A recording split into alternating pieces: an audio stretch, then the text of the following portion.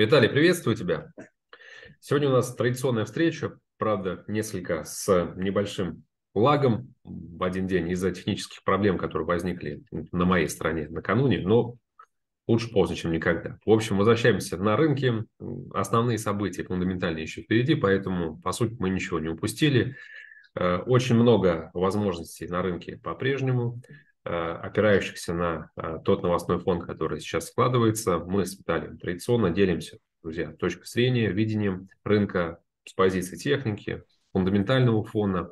Говорим о тех сделках, которые нам кажутся сейчас обладают самым большим потенциалом, чтобы быть отработанными. Подсвечиваем эти торговые возможности и заранее предупреждаем, что, конечно же, правила риск-менеджмента – это, как и всегда, на вас, потому что мы, может быть, и указываем какие-то траектории движения, которые нам кажутся весьма вероятными, но каким объемом, с каким, с каким стоп-лоссом, с какими именно вот этими параметрами сделки, это все-таки больше на вашей стороне, друзья. Итак, я сегодня предлагаю обсудить ситуацию с долларом, который э, корректировался в понедельник. Мы видели после э, локального роста в конце прошлой недели. Давай к демонстрации экрана перейдем. Да, по сути, мы начали распродажами по индексу доллара эту как неделю, но сейчас на азиатской сессии уже с переходом на европейскую видим то, что инициатива возвращается к покупателям. Индекс доллара сохраняет потенциал для роста, и этот э, рост опирается на хорошую фундаментальную поддержку. Если не говорить про э, все релизы прошлой недели, можно ограничиться теми отчетами, которые вышли Э, в пятницу это индекс э, PCE, индекс цен расходов на личное потребление, который превысил э, ожидания экспертов существенно. По годовому выражению вы тоже увидели там статистику со знаком плюс, и если анализировать этот компонент как предвестник и опережающий индикатор инфляции, я позволю себе предположить, что при, так, при такой ситуации, при неизменности текущего новостного фона, когда мы, например, будем анализировать февральские данные по инфляции, легко можем увидеть и тоже в годовом выражении статистику со знаком плюс. И это еще больше усилит спекуляцию на тему уместности дальнейшего ужесточения денежно-кредитной политики. Помимо индекса PCE был, были еще данные по личным доходам, личным расходам. Здесь тоже придраться к отчетам практически невозможно, потому что личные доходы выросли на 0,6%, личные расходы на 1,8%. То есть э, эта статистика еще раз подтверждает то, что инфляция, скорее всего, американской экономики останется серьезной проблемой, потому что есть очень много оснований для роста инфляции. А заказом товара длительного пользования, которые вышли вчера, этот отчет э, разочаровал, а поскольку э, было зафиксировано снижение и э, на 4,5%, по-моему, против э, роста двумя месяцами ранее на 4%. Но многие те, кто копает глубже, считают, что не нужно обращать внимание на этот минус, потому что он связан с одним компонентом, это спрос на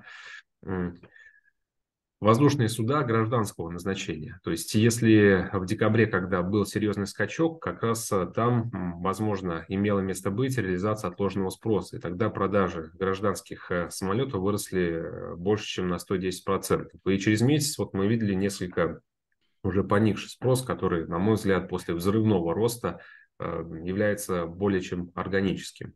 И э, если эксперты правы, действительно, то через месяц мы увидим уже снова статистику по заказам товарно пользования исключительно на положительной территории, которые будут доказывать, что а, в американской экономике вот, может быть, с чем-то есть проблема сейчас, но точно не со спросом, который и как раз поддерживает э, рост цен на все категории товаров, пока что, правда, в месячном выражении. Но, как я уже отметил, я допускаю, что рост будет зафиксирован и в годовом. Это все означает, что американский регулятор э, будет э, придерживаться прежней политики. Это политика, при которой э, у доллара очень хорошая бычья перспектива, потому что это политика высоких процентных ставок. Мы с тобой кулуарно также уже обсуждали, что как далеко может зайти э, ФРС. В принципе, сейчас рыночный консенсус предполагает, что на ближайших трех заседаниях ФРС э, может поднять ставку на 75 базисных пунктов в совокупности, хотя многие допускают, что в свете, например, февральского роста инфляции, данные по э, февральской инфляции выйдут до заседания американского регулятора в марте, вероятность повышения ставки на 50 базисных э, пунктов э, снова может как бы зиять новыми красками. Я считаю, что это вполне реальный сценарий. Как действуем по индексу доллара? Здесь только лишь покупки, без каких-либо сомнений, исключений.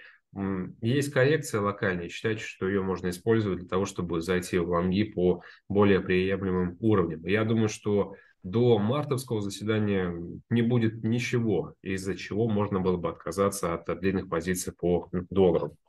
Так, европейская валюта, ну, мы все прекрасно понимаем, то, что пара евро-доллара – это зеркальное отражение, по сути, индекса доллара. Э, сейчас котировки 1.06. Я рекомендую европейскую валюту шортить, э, поскольку делаю большую ставку на укрепление курса американского доллара. Золото прекрасно инструмент себя показывает в плане развития медвежьего ралли, которое ранее прогнозировалось. Текущие котировки 1806 долларов за тройскую унцию. Я думаю, что уже в ближайший час, э, может быть меньше, мы увидим тест поддержки 1800 долларов за тройскую унцию.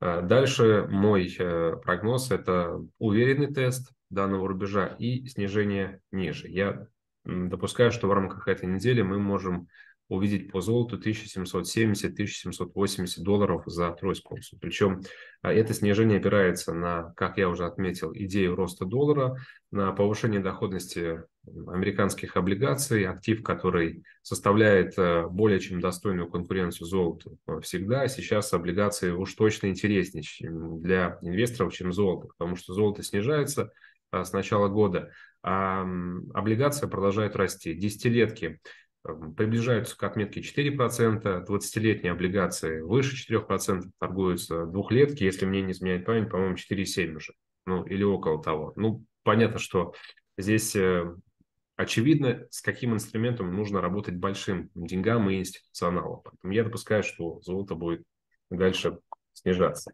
И, э, а, кстати говоря, рыночный сентимент тоже очень важный индикатор оценки текущей ситуации. Большинство трейдеров золото покупают, и, соответственно, золото идет э, против толпы.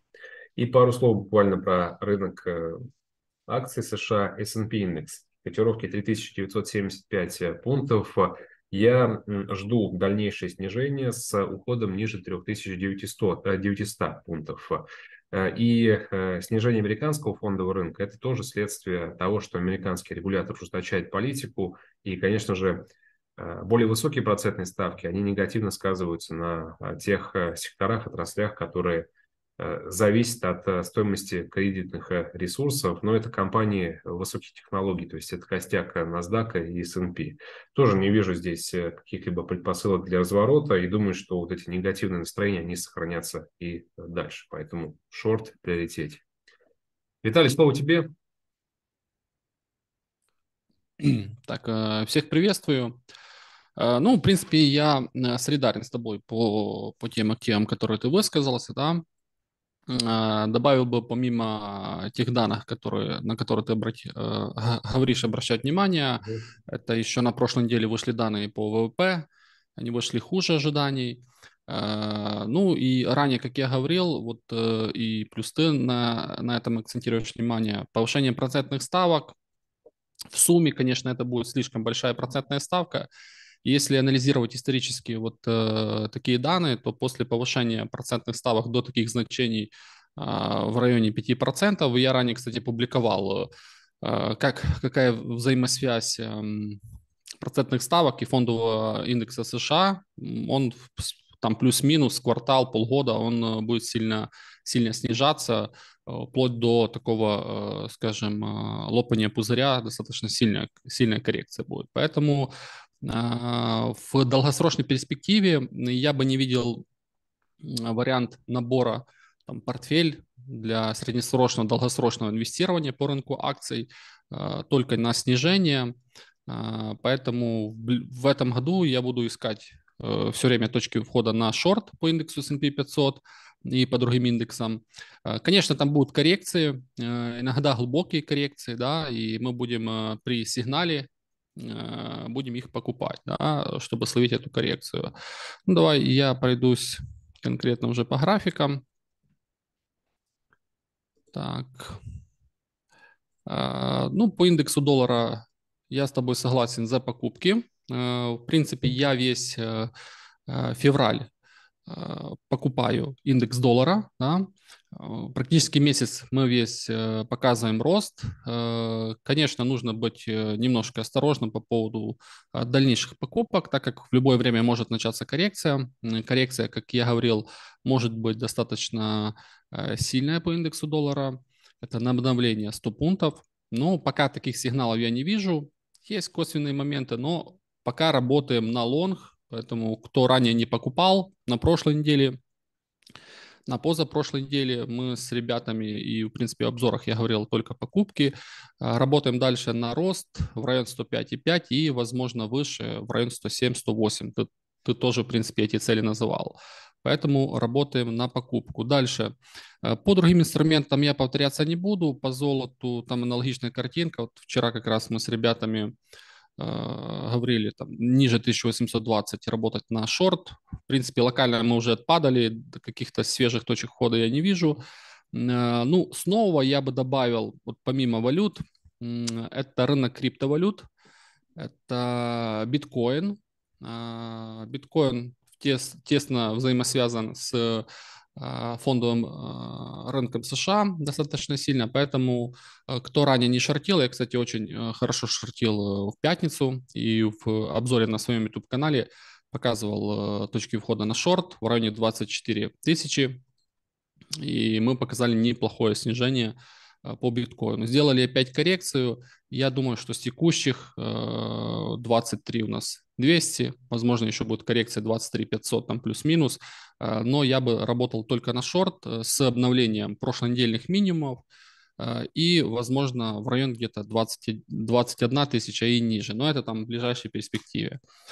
По фондовому индексу США я его шарчу, как и ты, Э, очень хорошие торговые рекомендации получились на прошлой неделе у меня. Я его еще с хая шортил. Э, вчера говорил своим ребятам, присматриваться к шортам и утром. Конечно, мы уже немножко припадали, поэтому кто смотрит наш обзор, уже будет пониже, конечно, шортить. Э, цели на обновление прошлого недельного минимума а, возможно, ниже, но не исключаю, что здесь будет еще какая-то болтанка, поэтому кто там не успел шартануть э, с текущих, возможно, еще будет коррекция в район э, 40 20, да, вот, вот э, уровня сопротивления, который у нас на текущий момент присутствует, зеленым отмечено. Поэтому работаем здесь только на шорт. Э, в ближайшей перспективе где-то плюс-минус я вижу его снижение в район 39-38, возможно, 0,0. А дальше уже будем смотреть э, на сильную коррекцию по данному индексу, как вариант. Э, ну, помимо индекса S&P 500, э, всю Америку я бы дальше шортил, но для любителей, так скажем, европейского рынка, там, кто не любит Америку шортить там, или торговать, как вариант, возможно, с немцами поработать, это немецкий индекс DAX 40. Вот я вчера как раз с ребятами по закрытию рынка говорил шортить и утром, Поэтому на текущий момент, конечно, цена ниже, уже мы подпадали на открытие европейского рынка. Но кто ранее не шортил, э, текущие цены, в принципе, а, также можно рассматривать на снижение, на обновление прошлонедельного минимума и пониже а, в район там, 15 15-14 а, тысяч по данному инструменту. По другим там европейским рынкам кто прям немцев не торгует, а, условно. Французы еще, мне кажется, будут корректироваться как вариант. Британцы аналогично а, сформировали уровень сопротивления в районе, получается, 7, примерно 920. А, тоже здесь возможно работать на снижение по данному индексу. Пока приоритет на текущую неделю – это снижение по фондовым индексам. Ну, еще бы добавил, вот кто любит торговать э, товарный э, фьючерсный рынок, это хлопок, катон, да, в принципе, в терминале у нас есть так, такая возможность поторговать.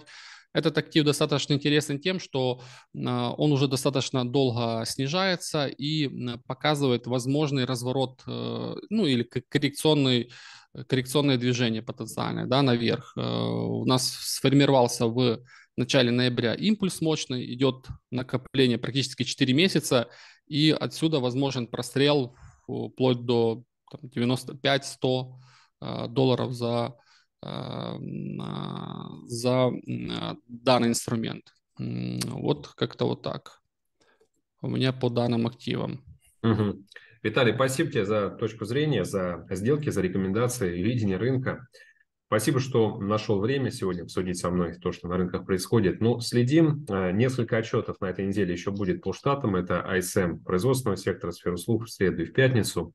Будем наблюдать за долларом. Я очень надеюсь, и мы с тобой синхронны в этом э, взгляде на дальнейшее укрепление курса доллара и слабость рисковых инструментов, причем и фондовой секции, и валютного рынка тоже. А, на следующей неделе, в понедельник, вернемся к рынкам и обсудим, что на них а, произойдет и где будут а, те, за которыми мы следим. Спасибо еще раз, хорошей недели и хороших выходных. Пока. Все, всем удачи, пока.